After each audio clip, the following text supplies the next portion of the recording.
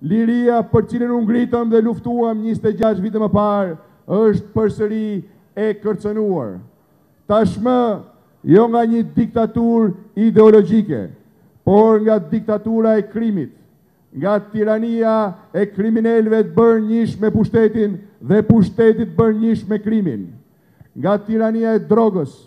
e cila tjetërson ditë për ditë vendin tonë të dashur nga një shoqëri ku njerëzit mundohen të jetojnë me djersën e ballit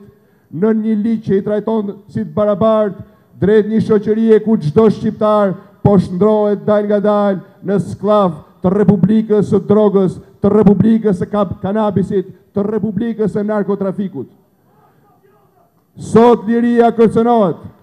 nga një qeveri dhe një kryeministër që shkel kushtetutën dhe shkel ligjin për të mbrojtur kriminelët që ka sjellë në pushtet. Sot jemi këtu